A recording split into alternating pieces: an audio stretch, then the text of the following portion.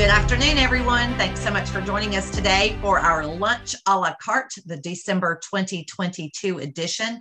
We appreciate you being here today. We have a couple of very quick announcements. I want to say a very special thank you to all of our donors who have joined the Roger Ackerman Circle.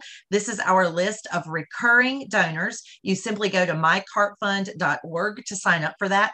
As you may recall, our goal was 100 donors in the first 100 days, and we have about uh, 20 some, maybe 19 days left in this year to hit the 100 day mark. And we are, as of today, at 80 recurring donors. So I thank you for those of you who have signed up to do so. And if you haven't yet, there's still time to do that and help us meet our goal of 100 in the first 100 days.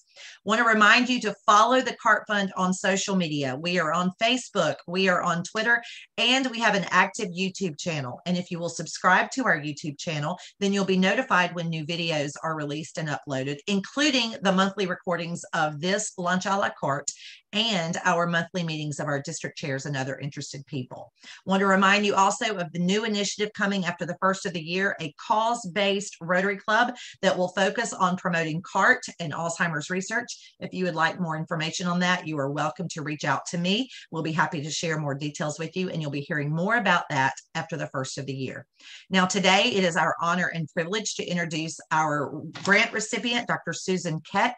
She is going to be presenting with us today. She is a professor and director of the Nomis Center for Immunobiology and Microbial Pathogenesis at the Salk Institute. She did her postdoctoral work at Emory University and received her PhD in developmental biology at Stanford. She received her BS in cellular and molecular biology at the University of Washington. Dr. Kaech aims to understand how memory T cells are produced during infection and vaccination, how they function, and why, in some particular cases, they fail to induce long term immunity. Her lab has been a leader in using genetic and molecular tools to identify the genes and signaling molecules that are involved in generating two specific types of memory T cells, CD4 and CD8 from precursor cells during both acute and chronic viral infections. Her lab has made several notable discoveries in elucidating how and when memory T cells form following infection or vaccination. Dr. Kaech was the recipient of our organization's top award, the Roger Ackerman Memorial Grant in 2021, receiving a $300,000 grant to study infectious history as a determinant of age-related inflammation in Alzheimer's disease. It is my honor and privilege to introduce our speaker today, Dr. Susan Kaech. Thank you. Thank you very much. This is going to be a lot of fun. Um, and thank you for coming. And of course, thank you for the generous support of the research that has been going on in our lab. And um, I'm very excited to, to tell you more about it. Um, and for those of you who um, were present at the award um, ceremony uh, that we had a couple of years ago. There'll be some of some of the information will be be similar to that, but for those of you who are new, I hope it'll be um, it'll be new and and and I really look forward to your questions afterwards. Um, uh, I, if I try, I'm going to try to um, not get too deep in the weeds of the immunology and and uh, stay kind of um, at the high a higher level. But of course, I'm sure I could uh, lose people along the way. So I hope I don't do that. Um, what we have been studying as, and this, and, and my in, my introduction into the field of Alzheimer's disease has come as a result of me moving to the Salk Institute. The Salk Institute has phenomenal um, neuroscientists.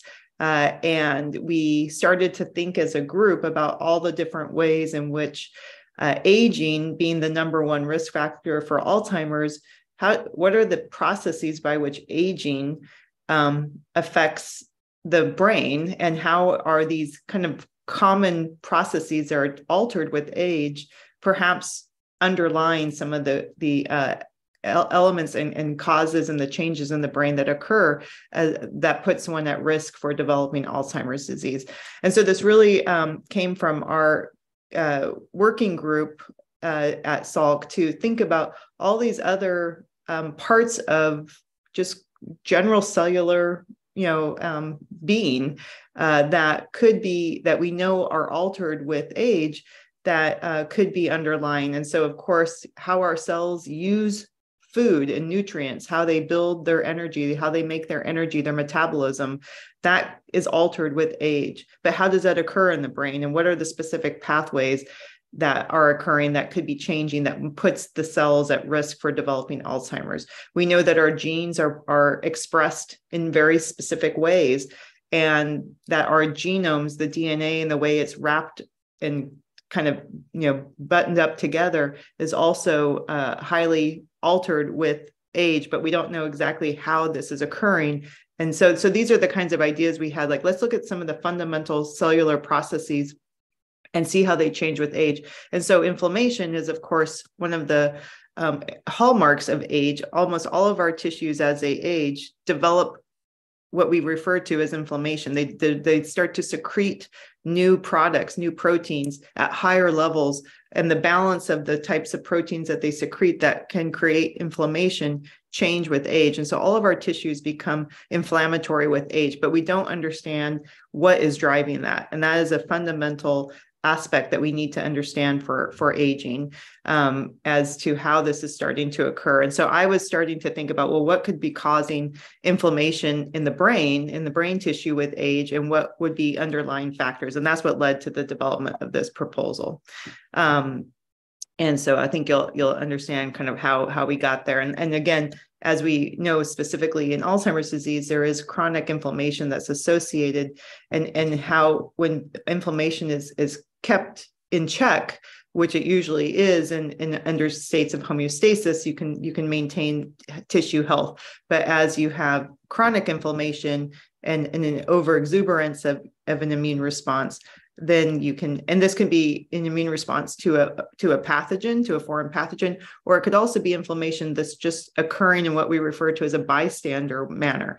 It's just occurring as a result of altered um, th- these these homeostatic checkpoints have become eroded or lost and, and we start to to produce and develop more inflammatory products in our in our tissues and and in our circulation. And so that's kind of the the basis of of what we're we, are we are thinking about is that there's just higher levels of inflammation this kind of bystander inflammation perhaps that's contributing to um, the age related changes in the brain that could be underlying risk factor for alzheimer's disease and so, in particular, then what would be the causes of how, how what would be the causes of factors that could lead to um, this increase in chronic inflammation? What environmental variables could be altering this? Because we know our study of Alzheimer's disease that there is a genetic component but the majority of people over 96% of the population who develops alzheimer's disease they do not have these genetic risk factors they are developing alzheimer's disease in what we refer to as a sporadic manner but we know it's not entirely random and sporadic. There's got to be underlying variables that contribute to this and so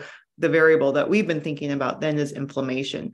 And what could these variables be? Well one could be that as a result what causes this chronic inflammation with age could be the production of, of molecules like type 1 interferons or these interferons that are actually produced as a result of trying to fight a viral infection but these could be part of the um, age related inflammatory molecules that are getting increased with age and so is viral infection then actually a variable, an environmental variable that could be leading to the increase in the uh, inflammatory products that are associated with age, and and how, if so, how could that be be contributed uh, to Alzheimer's disease? And so that was really kind of the the whole idea was to try to ask, you know, going from this tissue homeostasis and when thinking more specifically about about the cells in the brain uh, there's many different types of cells in the brain but there's three primary cell types in the brain. Of course, are, our neurons, which which is the, the, the business end of the brain. But then we have two supporting cell types, astrocytes and microglia. And, and astrocytes are very critical for supporting synap- the synapses of neurons. And microglia also play an important role for pr- promoting synapses, but they're also the, the brain resident immune cell. Microglia are actually what we refer to as macrophages, and these are immune cells that are there to maintain tissue health they have an important role in kind of cleaning up. They we call them like the housekeepers of the, of the of the brain. They clean up the brain, but they also then would be important for if there was an infection, they would be important for a host defense for for antimicrobial response.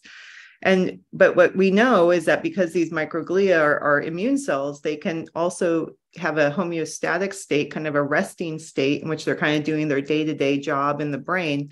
But if they were to get then activated, if they were to see microbes or a virus, or if they were able to see other types of inflammatory molecules like interferons, they would become activated and primed. And they themselves would then contribute to producing inflammatory mediators.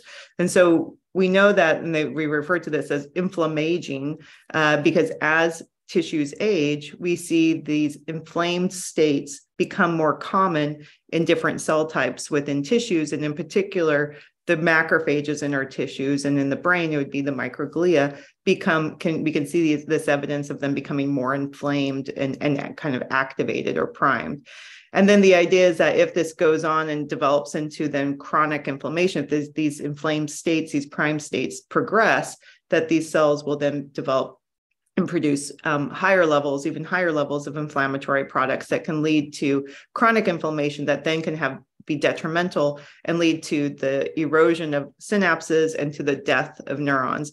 And this is kind of the idea behind long term chronic inflammation, neuroinflammation, that can then lead to the uh, altered function of the neurons, their death, and then um, help progress uh, neuro, neurodegenerative states in the brain.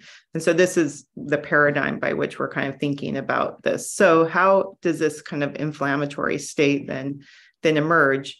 Um, and how do how do we go from these states of prime microglia to this more detrimental inflamed state? And, and, if we understood what causes these triggers and these changes with age you know would we be able to prevent this and, and stop this and, and maybe allow these cells to stay in this kind of less less inflamed state um, for longer periods of time?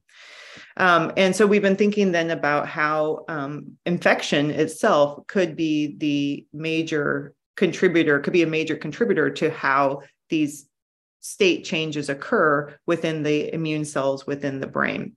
And and what i've been studying as as tiffany um, uh, explained in the introduction is is how we develop long-term immunity how we develop memory to pathogens that we have seen and encountered before. And if you think about uh, the primary job of our immune system uh, it has two fundamental jobs. One is to fight a present infection and i think it was norm who who's um, who's unfortunately feeling sick right now.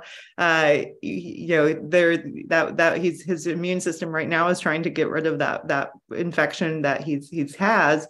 But then the second job that's really important is to allow us to prevent ourselves from getting sick again um, and how do we fight those future infections? And that is established in our immune system by the generation of what we refer to as memory cells, because they remember the pathogen that they saw originally. This is when you got your COVID vaccine. This is what you were trying to generate are these memory cells. And our memory cells can come in a few different types of cells. We have memory T cells, which is what I've been working on for my career, but there's also memory B cells and long lived plasma cells. And these are the cells that are producing the antibodies that uh, will also circulate throughout your body and, and help to um, fight the, the pathogen should it come. So we call that our humoral defense. And then our T cells, we call those um, uh, they because they operate more on a cell to cell interaction basis. We call those our cellular defenses. And so generating these long lived memory cells um, is is an important part of is how we develop immunity. And so this is just a give you an example of, of how we would kind of characterize this over the course of, of a um, of an infection you can see this is kind of the kinetics of how these immune cells or T cells and our B cells emerge. You can see that when you have um, an infection initiate, you the, then the virus will start to replicate within the first few days. Usually, a virus is cleared within you know a week to two weeks, and as soon as that virus infects our body, we start to have activation of T cells that can recognize that virus very specifically. Uh, and those T cells will then um, start to rapidly expand. So I'm showing you here in kind of like a line graph. This is like numbers on the y axis. And then this is kind of down here below is kind of more of a cartoon of, of what's happening. But we have small numbers of cells that recognize the virus. We refer to these as naive T cells if they haven't seen the virus yet. They, they're, they're, they're specific for the virus, but they haven't encountered yet, so they're called naive. But once they see the virus and they get and the as when the virus infection begins, then they become activated T cells. And as they become activated T cells, they start to to rapidly expand. They start to divide and multiply their numbers. And that's what we're seeing here. And so one cell can then turn into two cells, can turn into four cells, can turn into eight cells, can turn into 16 cells. You can see they just exponentially start to grow. We call that clonal expansion and then they start to uh, develop at the same time they start to develop effector properties so they start to develop the ability all these viral fighting weapons they start to produce as they expand they start to develop into these effector t cells and these effector t cells are really important for allowing the clearance of the pathogen, but this is also why you feel sick. So when you get sick uh, and get a cold, it's the production of all of these effector molecules that our immune cells and our T cells and, and our macrophages are producing that is making us us feel sick. Um, so this is what this is why you take ibuprofen or you know try to take um, a, a, a COX2 inhibitor, or an NSAID when you um, are feeling sick to kind of tamper down the the inflammatory products that are being produced by your by your immune cells. And so, as these cells then uh, undergo a, a, a, a, productive clearance of the pathogen, you go through what we call the resolution or the contraction phase, where now all these activated T cells that were generated, they start to die. Many of them die. We try to recover, we try to return to a kind of a homeostatic baseline. And then we develop a small number of these cells, about 5 to 10% of them, will actually seed a long lived pool of memory T cells.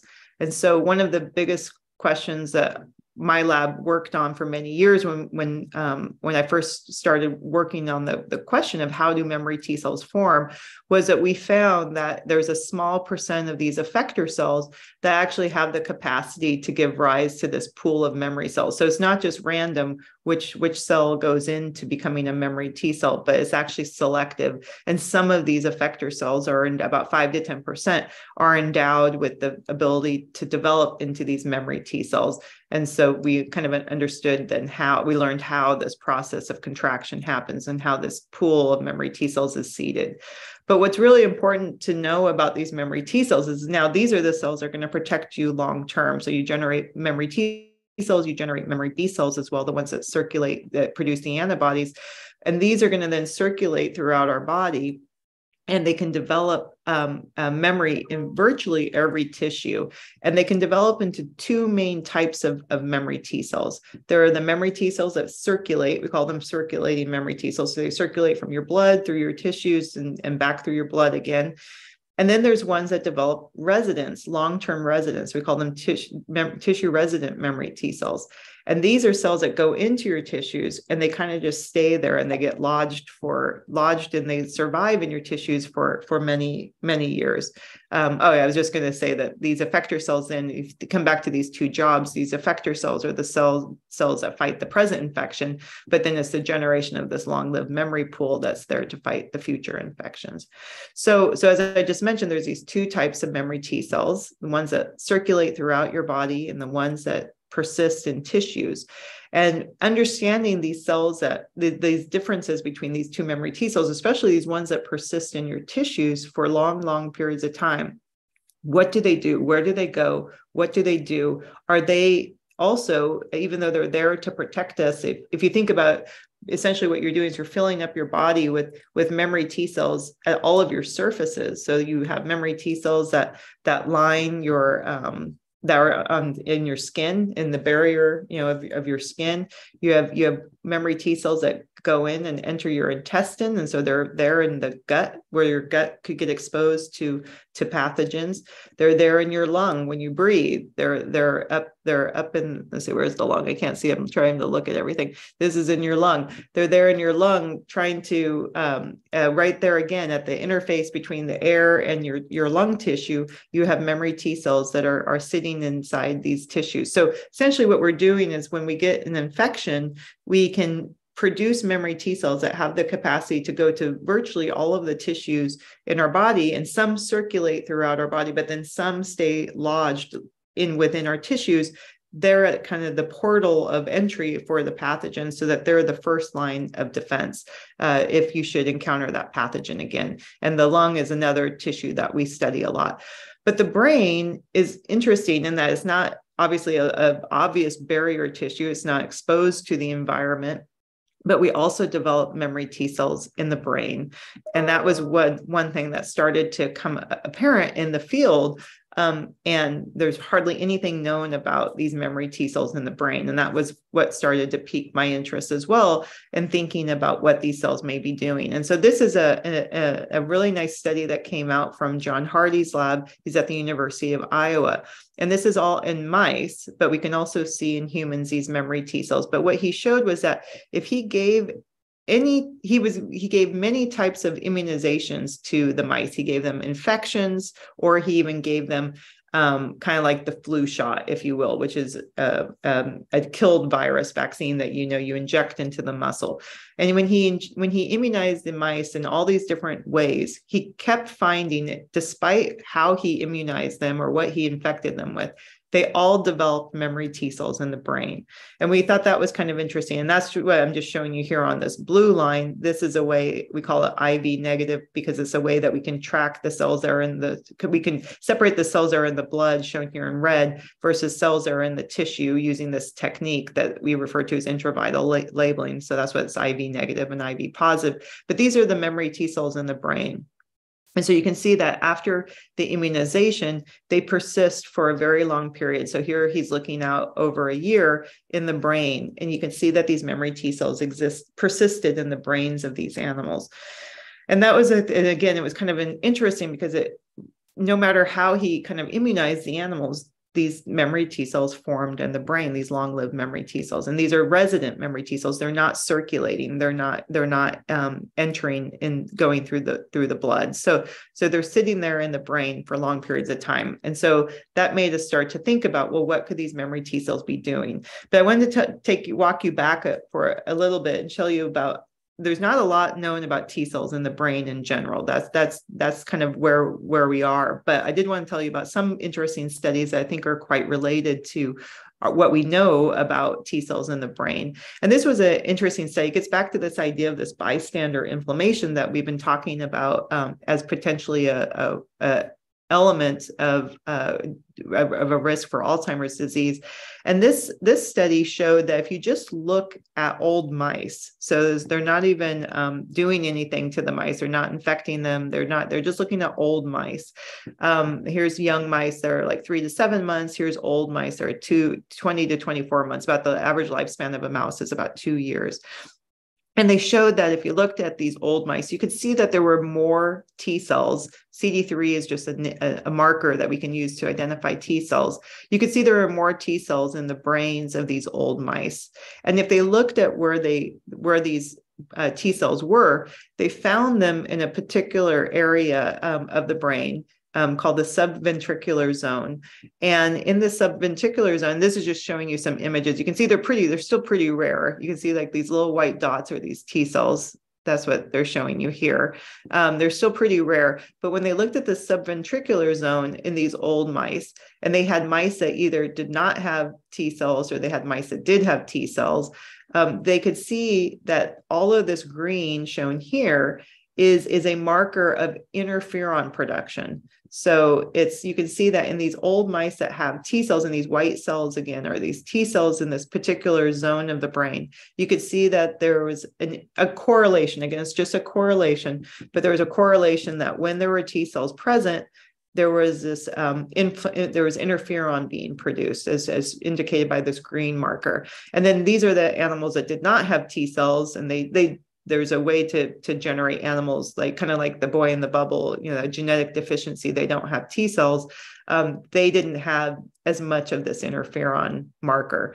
So what they went on to show in this in this study was that these this interferon in the in this part of the brain was actually preventing and reducing the neurogenesis of of the of the of the of new neurons so the ability to regenerate and make new neurons in this particular part of the mouse brain was uh, reduced and it was affected by the production of this interferon by that by these local that these local T cells were having. So so in this p- paper though they didn't these they didn't show that these were memory T cells. They didn't show there was just you know there was this was just the uh, accumulation that was seen in, in animals that were never exposed to pathogens or anything like that. This is just the kind of the age accumulation, uh, age related accumulation of, of T cells in the brain. But but there was no, um, you know, there was no delivery of they, the animals were never exposed to a, to a pathogen or, or to a microbe in, in these particular studies.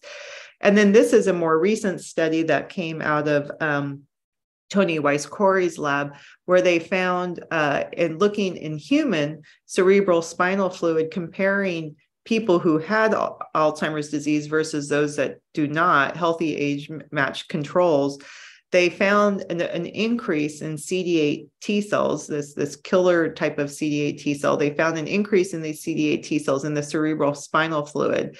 And then when they looked in a couple of plaques, they didn't have a lar- large number of of there wasn't a lot of evidence to support this, but they had a couple of plaques that when they looked at a few of these plaques, they could see some T cells neighboring the plaques. And that's what's shown here in some of the Alzheimer's disease. So again, complete association, just a correlation that people who had Alzheimer's disease had more, had more CD8 T cells in their cerebral spinal fluid um, and when they looked at the plaques of a few individuals, they could find evidence of, of T cells nearby. And I should say that this, this association of T cells near plaques has been um, produced before by another group. But again, it's, it's, it's just small numbers of, there's not a lot of evidence to support this. There's, is, there's just a small, a little bit of evidence out there a few publications and you know and it's, and it's correlative that's that's all we know um, and then this was again another paper that uh, in mice showing very similarly that if you just look at the plaques of a mouse model that develops Alzheimer's disease,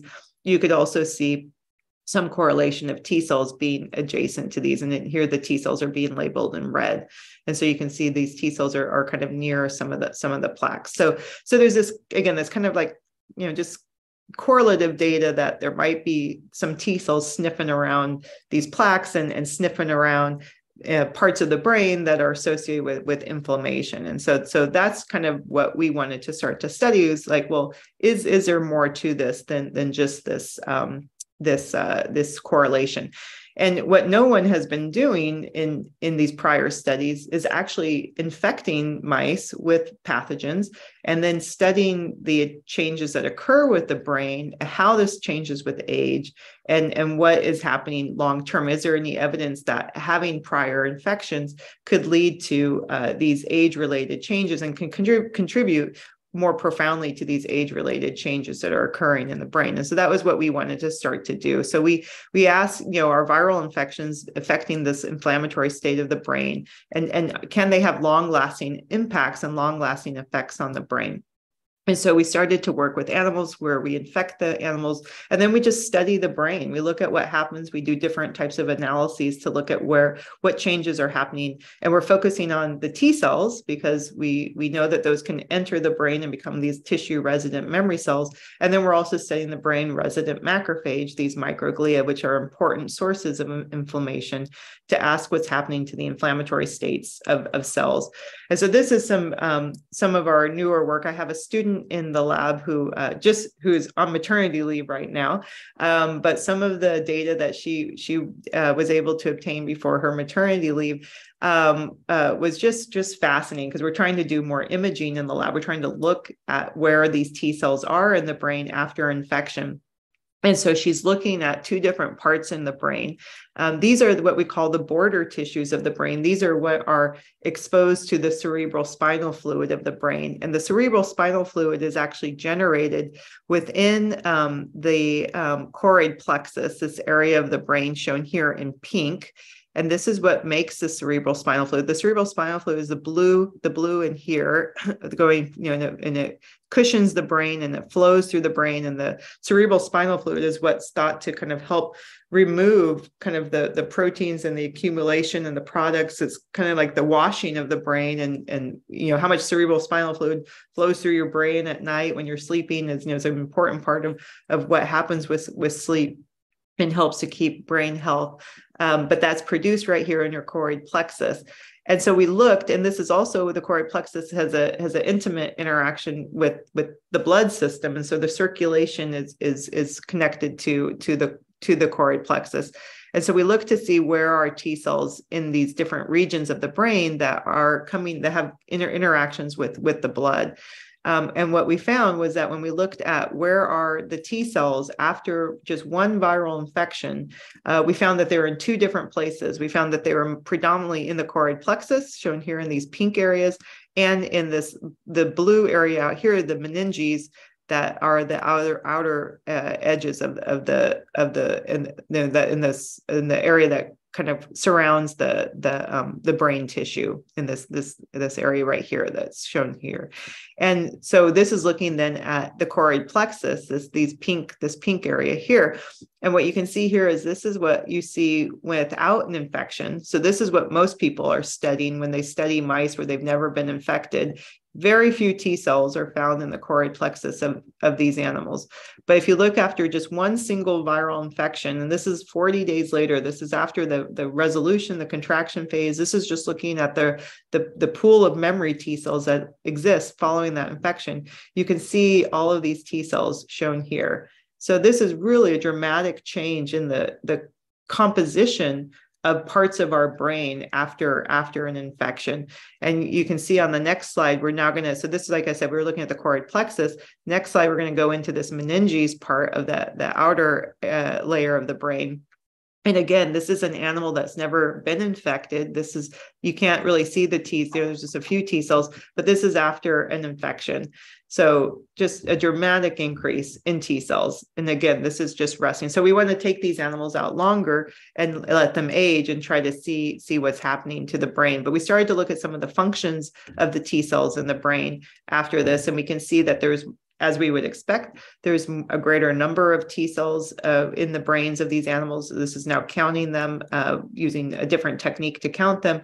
And if we look at their ability to produce cytokines, then be an inflammatory cell type, you can see that we can see that there's an increase then in the number of cells that can produce these inflammatory mediators that could lead to age-related inflammation. So, so the most important thing to take away from this is that after uh, just even one infection, we're seeing this remodeling of the brain, both in terms of the types of immune cells that are present within the brain, and, particularly within the choroid plexus and in the meninges. But then, second, we are seeing that these cells now have, because they've been they've developed into these effector like cells, they have this capacity to produce inflammatory mediators.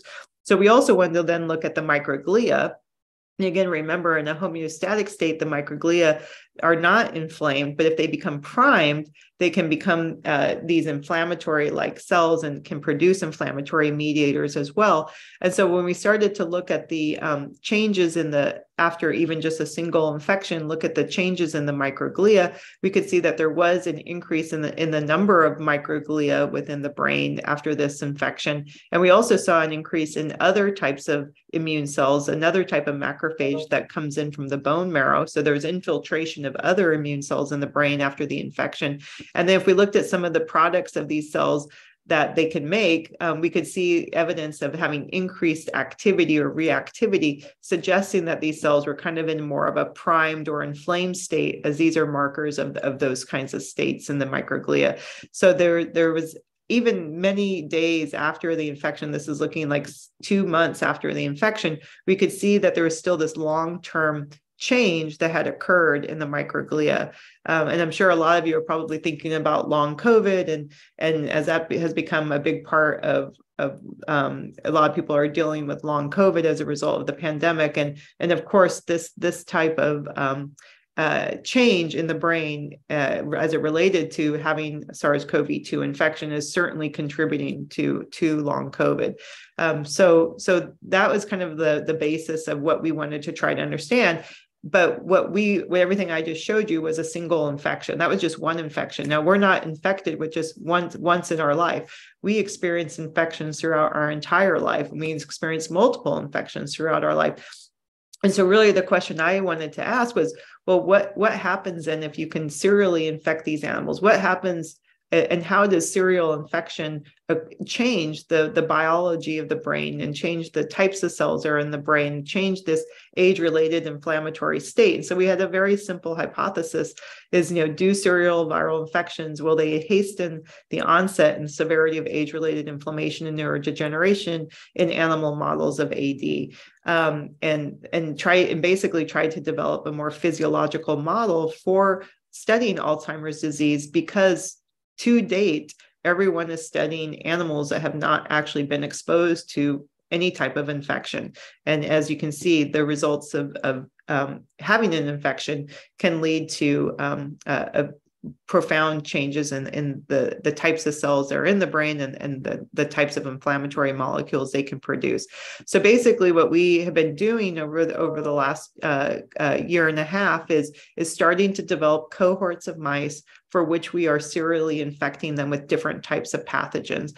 And so we're trying to infect the mice during the first year of their life and um, and and we're working and then we're infecting either control mice, wild type, what we call wild type mice, control mice, or we're infecting mice that are prone to developing Alzheimer's disease. And, and these, and these mice have um, genetic, um, uh, expressed genetic uh, changes in APP and also presenilin 1, these, these proteins that have been shown to be genetic risk factors for Alzheimer's disease in humans.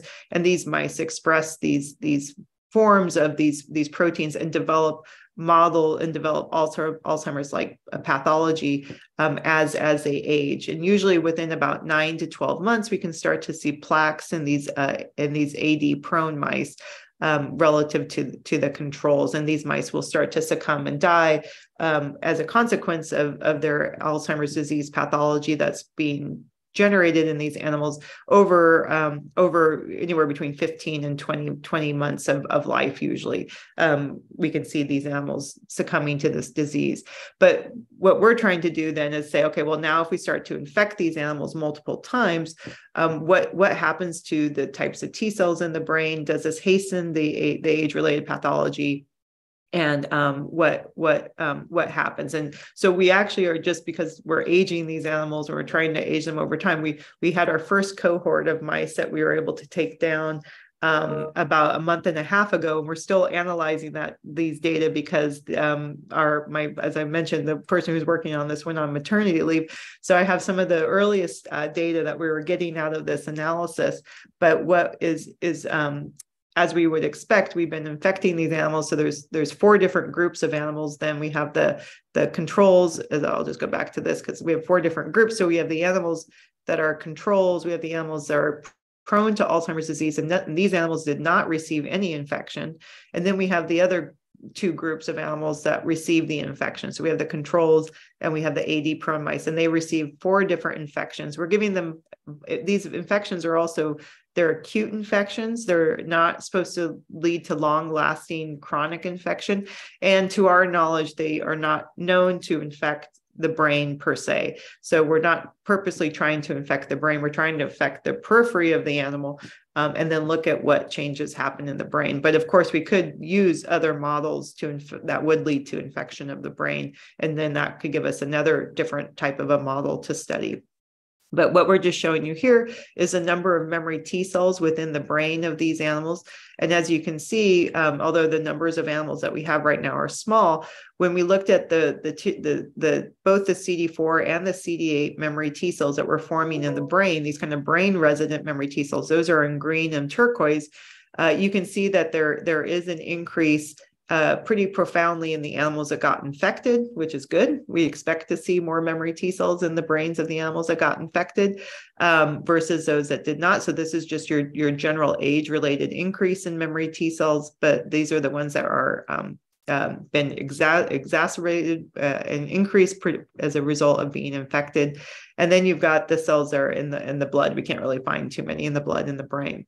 And then this is just showing you markers that we can use to distinguish these cells in the brain. We use proteins that can help us identify these brain resident memory T cells from the ones that are in the blood as well. Um, and so we can see that they're they're increasing as a result of having gone having the animal been ex, uh, infected multiple times. But this is got this is where it got pretty interesting. And again, these are really early days. We don't know what we're going to you know if this is how reproducible this is going to be but we started to look at the two areas of the brain that are most impacted by alzheimer's disease the the the cortex the frontal cortex and the and the hippocampus and this is showing you the hippocampus and that we got pretty excited by these data because I hope you can see in here, we're doing imaging. And what you can see in um, red are the blood, or pink are the blood vessels. Uh, blue is as a, is a stain for the nucleus, the DNA of cells. And you can see that there's a, just a lot of cells in this compact region of, of the hippocampus. Um, and then in turquoise again are the T cells, and we're looking at both CD4 and CD8 cells at the same time. So they're both stained in this turquoise color. Um, and what you can see is that if you look at the wild type, the control animals that did not get infected, we can't see hardly any T cells anywhere around these are then the animals that got infected four times. So again, they had this history of infection over the early phase of their life. They had four different infections. We can see a, a rare T cell here and there. So there is a little bit more of an increase in T cells, but very, very rare. And that's because, as I mentioned, these T cells aren't inside the parenchyma of the brain. They're in the choroid plexus, they're in the meninges, but now we're looking in, in the hippocampus. We're looking in like the middle of the brain. You know, can, can we see T cells there? And we don't really see them there. But then you look now at the animals that are developing a pathology and signs of Alzheimer's disease. These are the animals that did not get infected, but they have they're developing pathology of Alzheimer's disease. So here you can see where some plaques are developing in the hippocampus. We can see that because of microglia. We can also stain for A beta, but we can also see that just based on changes in the, the way the microglia surround the plaques, you can see that the, these are where the plaques are, and you can see the microglia are in this activated kind of prime state as a result of surrounding the plaques. And you can see here, uh, there are a few T cells here and there, and I'll blow it up in just a second. You can see there's a few, there are some T cells around the plaques, and this is what's been reported in, in the literature before. But then this was really interesting.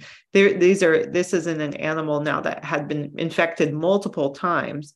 Um, we know it has more memory T cells in the in the choroid plexus and the meninges, but here we're seeing a lot more T cells kind of in these aggregates also in the hippocampus that's shown you. So you can see here, and I'll blow it up on the next slide here.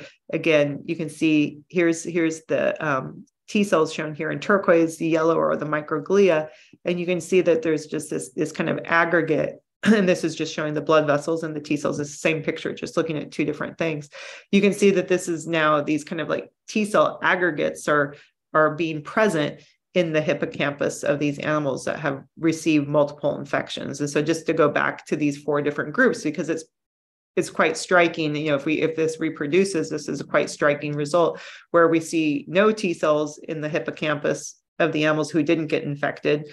In the aged animals that did get infected, you know, there again, there's just a couple of T cells that we can see in the parenchyma of the brain. But now in these animals that have Alzheimer's disease uh, pathology, but did not get infected. Again, we can see a few T cells here around the neighboring these plaques, but now in the animals that had received m- multiple infections throughout their life and age and have a genetic uh, risk for Alzheimer's disease, now we're seeing um, you know a much more apparent um, infiltration of T cells into the hippocampus of, of this of this animal. So so we're we're really interested. You know, we're talking to the neuroscientists about this because we're trying to understand, you know, how do these T cells come in?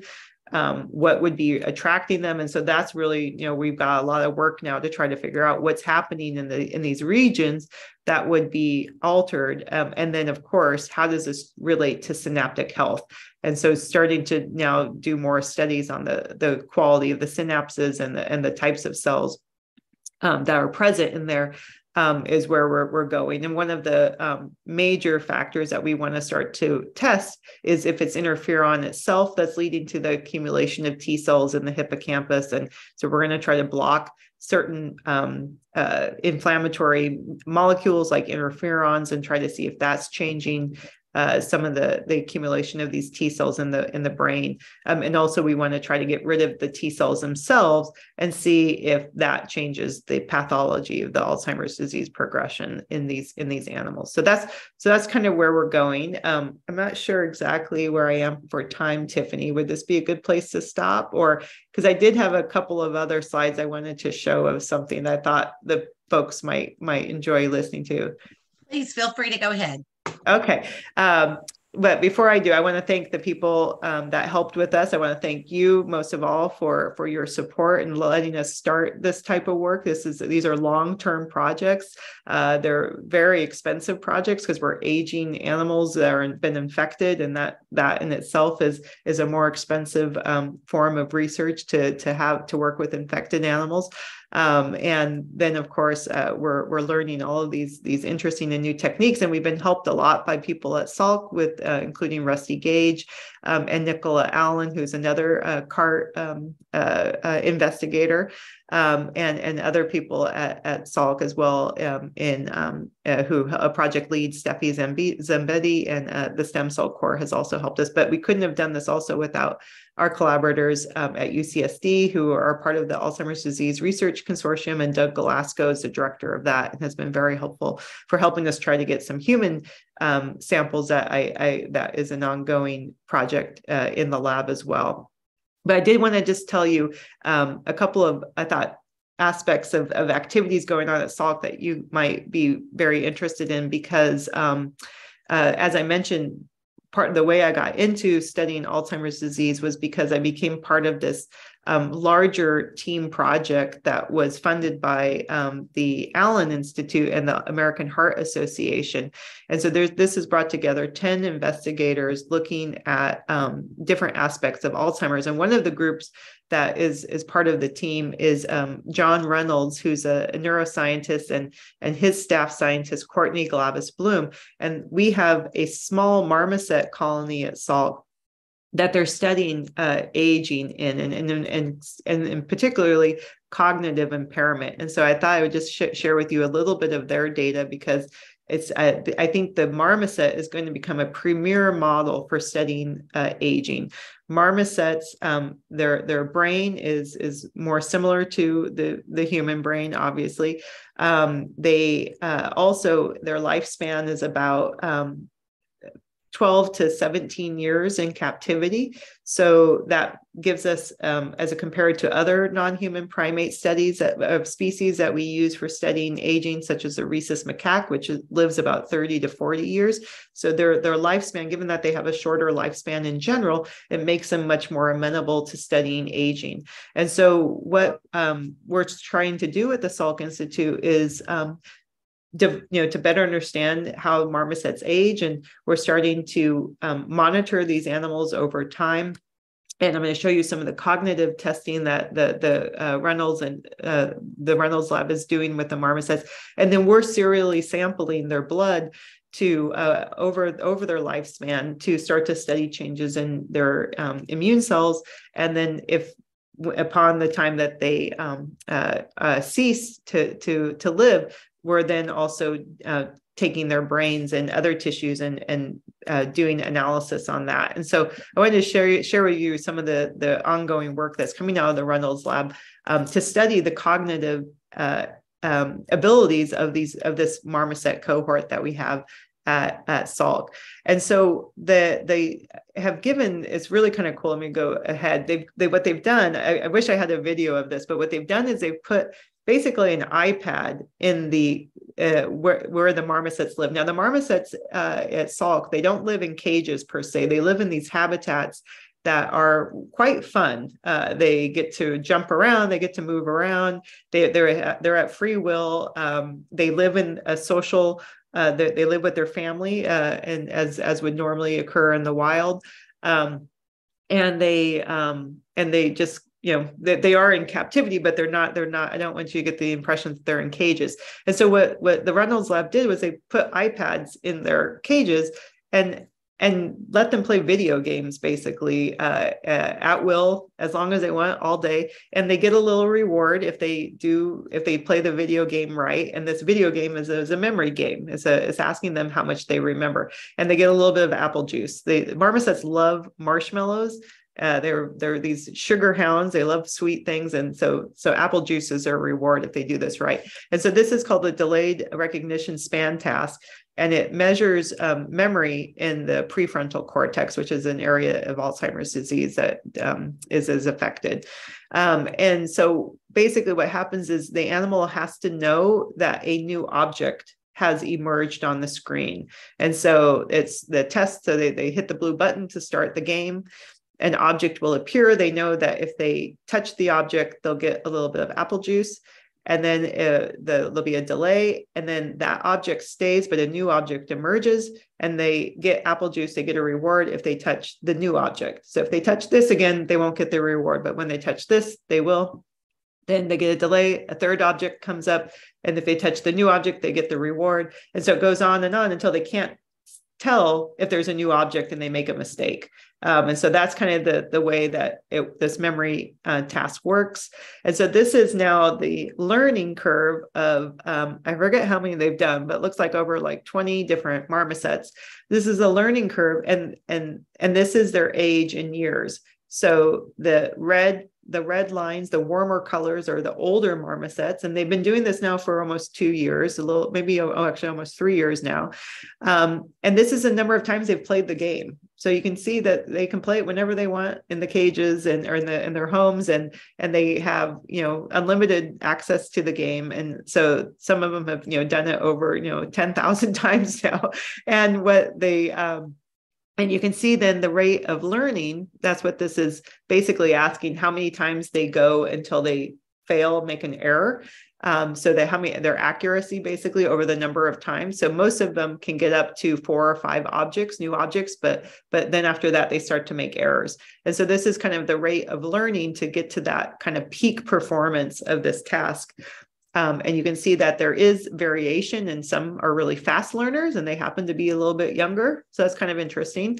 And then these are um, the average, the average length, of time of learning. And then we have this one we have this one marmoset that really is not learning very well um, and and so anyways i don't want to go on to too much detail but i just want to let you know that we're doing this because what the um, uh, reynolds lab has then been doing is um, asking and this is just kind of over their cohort there is definitely um, age related loss of, of learning. So there's slower learning in the older animals, um, and their overall performance decreases with time. So we do have an aging model of cognition uh, that we can now study in these marmosets. And and then and they had to actually because of uh, the animals got sick they had that's these lines end here because they had to um, take these animals down. A couple of animals got sick and they had to to euthanize the animals. And so when they did this they were able to then compare the brains of these animals. So this animal here that's they're referring to as aging impaired because it never really learned. And this animal here it learned quite well. It was the same age. These were relatively similar in age. And they were able to then these they had to sacrifice both of these animals and so they were able to um, uh, study their brains.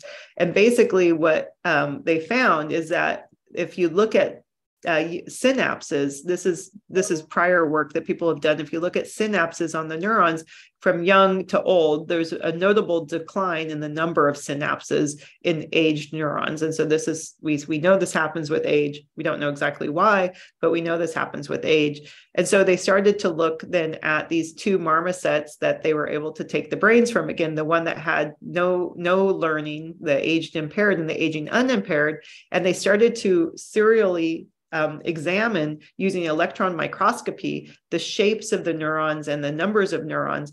And they can look at all of these um, synaptic interactions within the brain of these animals using this microscopy technique. And they can look at it here at this actual synapse, what they call the synaptic bouton.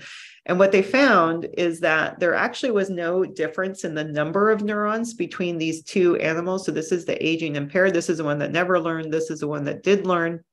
There's no difference in the numbers of, of synapses uh, in these age. They were definitely decreased compared to the young uh, marmoset that they, they also had to um, euthanize due to illness. Uh, there was definitely a decrease in the synapses as would be expected, but there was no difference between these two, the one that couldn't learn, the one that could learn. But what they did find was that the synaptic shape is actually different and the one that could not learn. And so this, I think I have it on the next slide, this, this, this, the size of this interaction here is actually bigger on the one that could not learn. And that sounds kind of counterintuitive but they're they're trying to understand more about how this shape uh, might be associated with this this inability of this animal to to have to have cognitive um, uh, impairments as a result of um, of, of these changes in, in neuronal uh, in, in interactions between between the synapses and so so again i just want to uh, tell you about this work because i think it's going to be a, a, phenomenal model for studying um, uh, uh, alzheimer's uh, like and neurodegenerative diseases uh, and and uh, many different aspects of aging. I think the marmoset is going to become a premier model for for studying this. Um, and and at Salk, you know, we're trying to invest in this in this um, uh, this new model because because it's um, going to be, I think, so informative for for telling us what happens with age. And it's and and while marmosets don't naturally get Alzheimer's disease, they do get tau tangles. So they have other pathologies that just naturally arise with age. Um, that and people are trying to make now genetic models of marmosets that also can um, have more um, are more prone to developing Alzheimer's disease like pathologies. So there's going to be new innovations in this model as well that will help. But again, um, just want to thank you for um, for your um, attention and happy to to talk, uh, answer any questions. Relating to the T cells, if I understood correctly, the T cells are a memory cell uh, of an uh, a previous infection. Is that is, that correct? Yep. Yeah, the memory T cells are. So you have you have the T cells that haven't been activated yet. So you have T cells in your body that have never seen a pathogen and they probably never will. And we refer to those as naive T cells. They have the mm-hmm. capacity to see something, but they haven't been, uh, you haven't been infected with something that they recognize. Um, and so those are called naive T cells. But once they become activated, if they did see the virus that they recognize, once they become activated, then they can develop into these effector and then into these memory cells. All right. Now, how do we know that when the T cells, how do we know they work? Let's say we got the infection twice. Yep. How, how would we know that the T cells worked? So, so they protect. So usually, what they do is they protect you from the more severe disease. As we've learned a lot about what you know the intent and purpose of, of immunity is is to protect you from more severe disease so we know they work because usually the second time you were to be exposed to the pathogen the illness is much more mild it's much more shorter lived. Okay. Um, and that's a and that's a result of the collaboration of both these memory t cells and memory b cells right? So the circulating antibodies are also quite important. But as we've learned through COVID, if the pathogen changes and now the antibodies no longer are able to recognize and prevent that, that virus from infecting, you still have your memory T cells though that recognize other parts of the of the virus. And that's why these vaccines are still working very well, even though Omicron has, you know, the SARS CoV 2 has changed and has evaded the antibody to the vaccines that we we were originally given. Um, our memory T cells are still present, and they recognize lots of other parts of the virus, and so that that's why you're you're seeing this improvement in the you know the severity of disease as a result of having this your your body has these memory T cells and B cells in it that can react to the the virus a second time. All right. Thank you. Yeah. We want to say a very special thank you to Dr. Kaech because not only was this an incredible presentation, but you guys, she is like in Hawaii right now on a totally different time zone than we are. And she got up extra early today to spend some time with us. And we are so grateful and so appreciative. We do want to remind folks that if you will subscribe to our YouTube channel, you will be notified when new videos are added. And we are constantly adding not only recordings of lunch a la carte, but also um, some training sessions and some spotlights of fundraising ideas. And we have much more of those to come as well.